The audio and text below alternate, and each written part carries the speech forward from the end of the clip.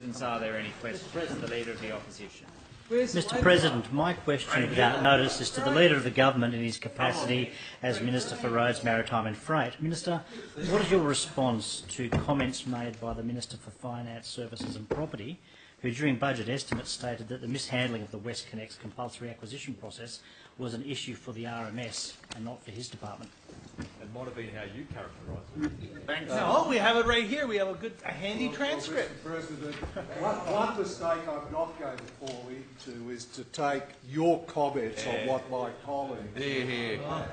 Did you write the He, he is a great colleague and does a fabulous job. Absolutely. Uh, and Mr President, but, but uh, Mr President, a, as far as the acquisition process is concerned, he is totally correct. RMS does have that responsibility.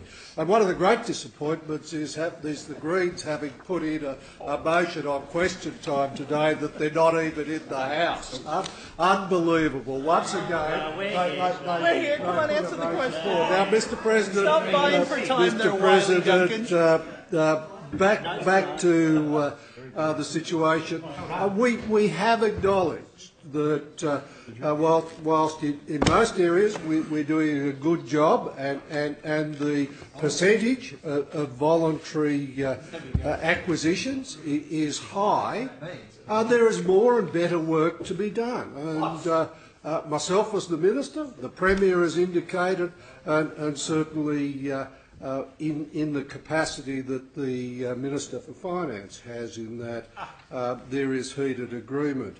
Uh, Mr President, uh, uh, I can't add any more to that uh, because I'm not going to fall for the fact that they want to paraphrase and, and change the comments of one of my colleagues.